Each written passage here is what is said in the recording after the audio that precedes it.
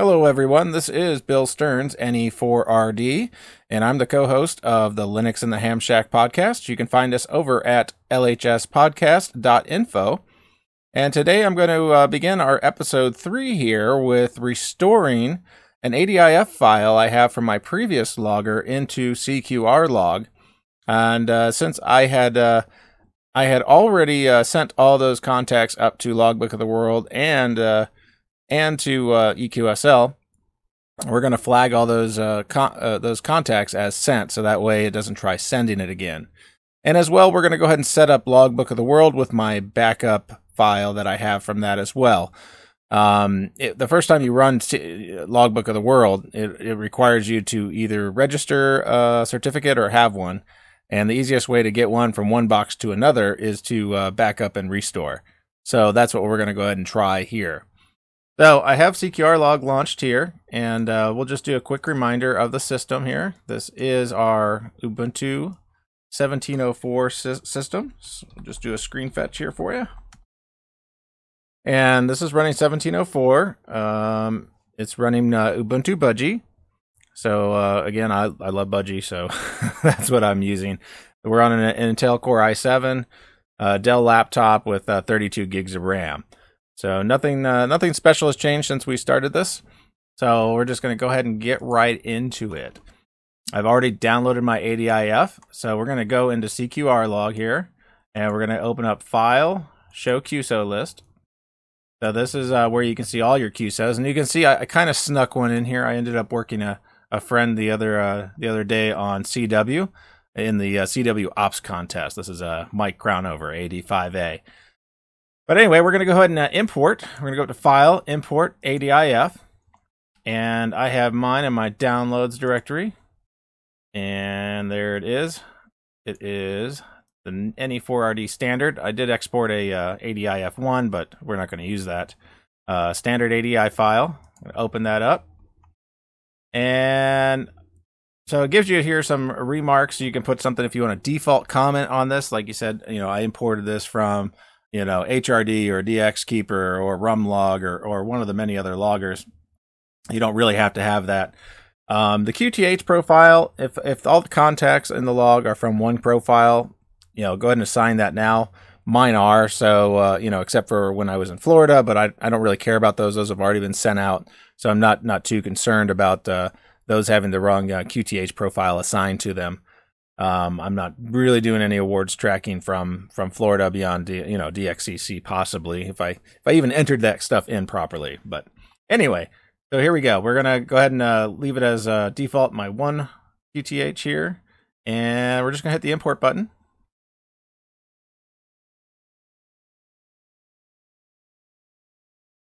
And you can see it created uh, 1400, 40, yeah, sorry, 4,890 records and uh, it created an errors file. So I'm going to hit close. So you can see uh, it brings in my most recent contacts. And obviously I do a lot of digital, so there you go. No surprise there. So we want to go ahead and update these contacts so it knows that it doesn't have to send these to Logbook of the World again. So I'm going to go ahead and bring up the uh, SQL console here. And this is uh, one way to do it if you uh, want to see your actual data, you can come in here and it grabs the the actual screen. So like this is a view, and this is the name of the view that it actually runs to do all the uh, QSOs or to the, do the query. And yeah, you got a lot of information in here.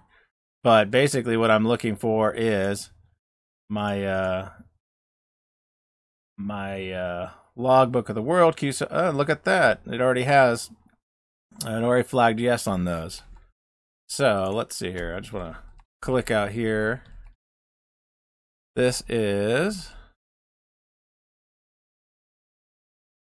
the logbook of the world QSO. QSLs have been sent. This is all flagged yes. So sometimes if you bring in a log that doesn't have that column, it uh, it will say uh, no there, and you'll need to update it. And uh, I don't see the EQSL one. Yep, so EQSL is here as well. And uh, it's sent automatically EQSL because I had set this up with uh, before I had made that contact with AD5A. So that's already sent. So this is great. So this is, means a lot of stuff you don't have to update. But basically, if you needed to update this, you can actually update, I believe in this view, this column. So you would actually go in and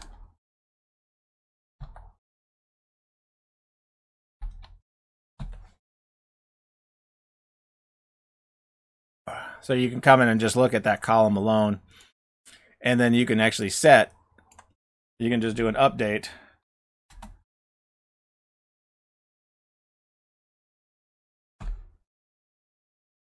CQR log main set logbook of the world QSLs equals Y and get rid of all that. And that will go ahead and flag everything in the entire entire database as uh, sent to logbook of the world. So you don't have to do that again.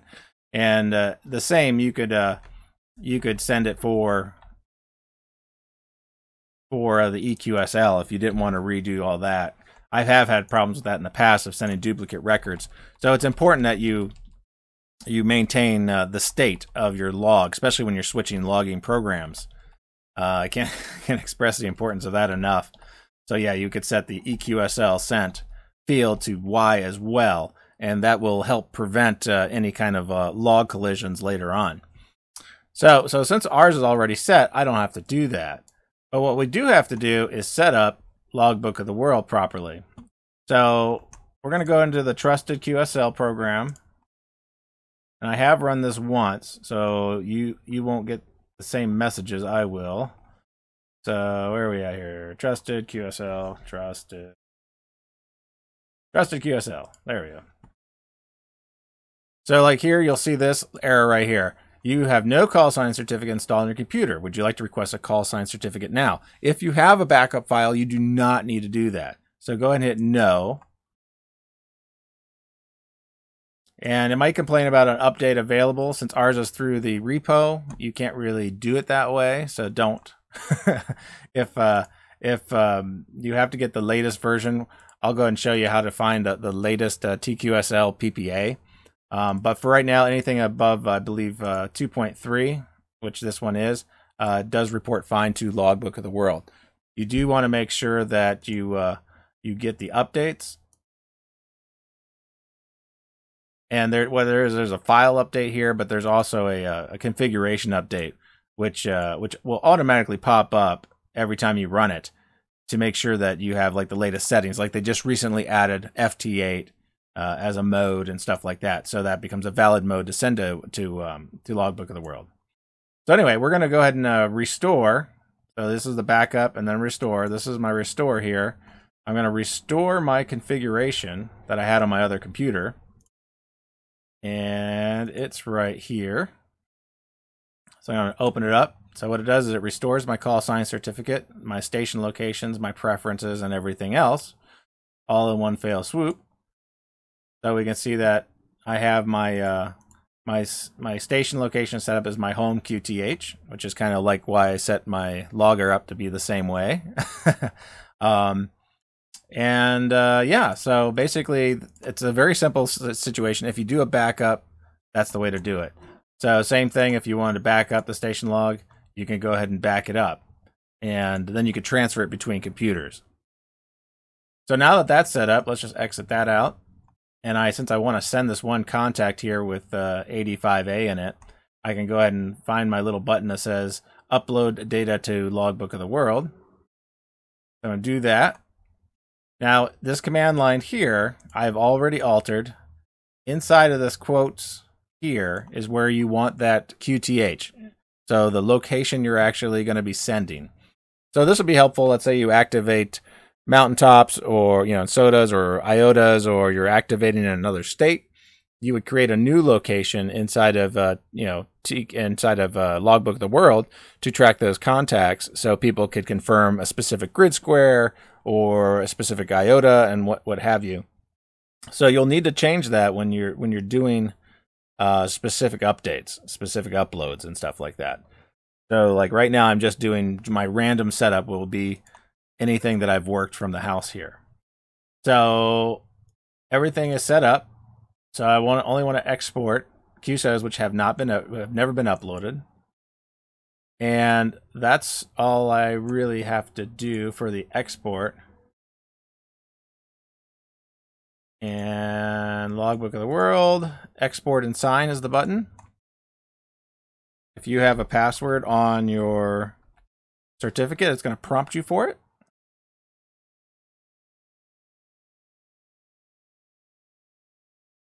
Okay, and apparently I do have some old stuff in here, so I'm going to cancel this and I'm going to take a look at my log file and see what's going on. So apparently something is not set to uh, is not set to Y.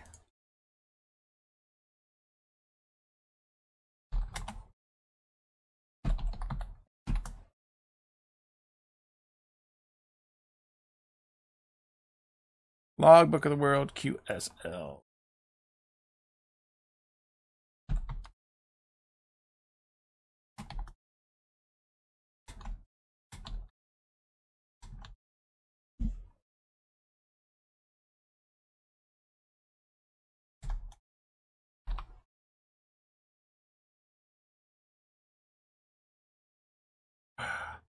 So yeah, so I have some old ones here that probably are from my previous call sign, which it is. So what I'm going to do is fix those.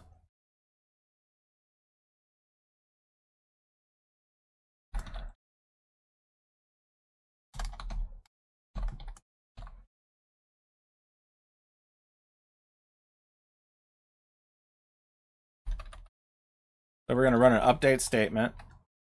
An update CQR log where QSOs equal nothing. And we're going to make a logbook of the world QSLs. QSLs equal yes.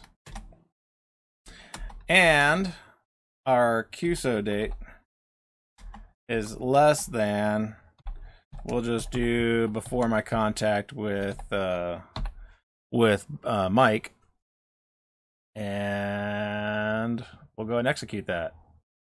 Oh, let's see here.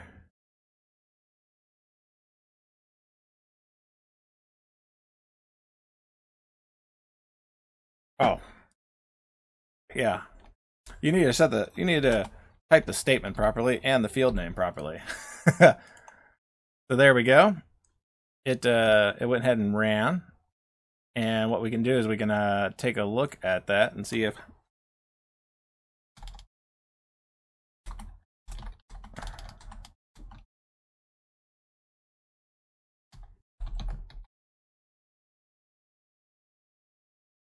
So there's nothing in there. We got no records. Just selecting uh, if there's any records that meet that criteria. And uh, we'll go ahead and close. So the, the the SQL console can be very destructive. You can destroy your entire log data. so before you make you know, sweeping changes like that, you'll definitely want to back up your log. In my case, I already have it backed up because I haven't sent it anywhere. So now that I've done that, I should be able to click my upload to QS to Logbook of the World. Type in my password There should be one record in there. You can see that if you did not see any errors, you can send the signed file by the website by, to, by pressing the upload button. So we'll just do that. And uploading was successful. Close. So that's that. If we want to uh, download data from uh, SQL, from uh, Logbook of the World, you can go ahead and do that. You know, return QSL records. So generally, if you've changed your call sign, like I've changed my call sign, 2009 10 30, um, you can download data from the website, and this way you can update your log.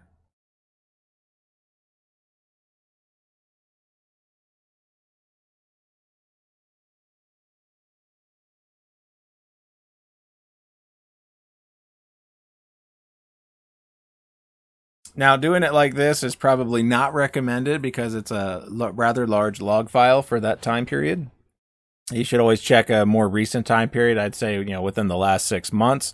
Generally, uh, you know, people do get onto Logbook of the World and confirm stuff years ago. It's not very common, but it does happen. Um, and you know, maybe once in a while you'll want to override that date to go backwards a little bit further. I haven't done it in a while, so I'm just going to go ahead and uh, let it run this time and, and, and test the import for your viewing pleasure.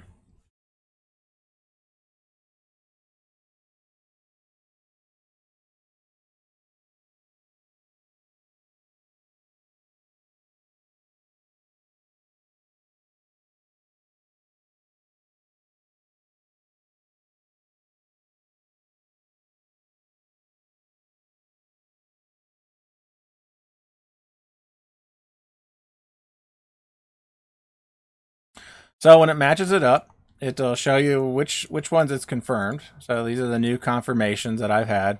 And as you can see, most of them are recent, but look at these uh, back here from 2013, 2012. So it is possible that people will be confirming you from, you know, a great distance in the past. I mean, 2012, this is 2017, so I mean it's 5 years ago, you know, just just under 5 years ago. And then your error log if you find stuff that people are trying to confirm in here, you can uh, run this error log against stuff and your existing log and see if maybe you had the call sign incorrect or a mode or something like that. Generally, the mode will auto correct itself. Um, the band generally won't. the time won't, and the date won't. Um, so yeah, you you can always go through the log and and find these. Sometimes these are phantoms. They don't. You never really made the contact. It's somebody else's miskeying. So you you take these with a grain of salt. Um, like this one, I probably will put in my log because I probably did do that. I'll have to check. W1AW. So uh, yeah, so there it is. That's that's basically your setup to get your log in here. And uh, you know, once you have your log book, you can go ahead and rebuild your statistics. Um, and then you can see your your DXCC statistics and stuff like that. I don't really play around with this too much. Um, but there you go. You have your worked, confirmed, and you know based on your modes and stuff like that. Um, no big deal there. Other statistics you can run is worked all zones. You know this is again was built off the same list. You have that. Uh, you have your worked all states, and uh, you can see I have all states. Almost all of them on 40 meters. We need to grab that last one apparently. so there you go. Um, yeah, so the CQRLog is is great.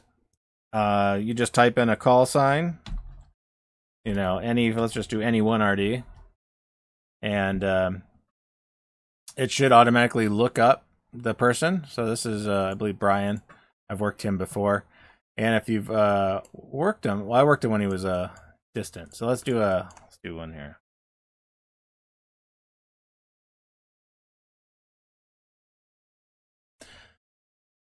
There we go. So if I look up AD5A, uh, you know, brings up here in the top that I've worked in before back in 2016. Uh, looks like probably on a contest, I'm assuming, because um, I don't casually work CW. and then, of course, my most recent contact with them. So there you go. There's there's everything we're going to cover this time. Next time we'll go ahead and uh, set up those digital modes to start working. So uh, so yeah, this has been Bill Stearns, NE4RD for Linux in the Ham Shack, and uh, we'll see you next time.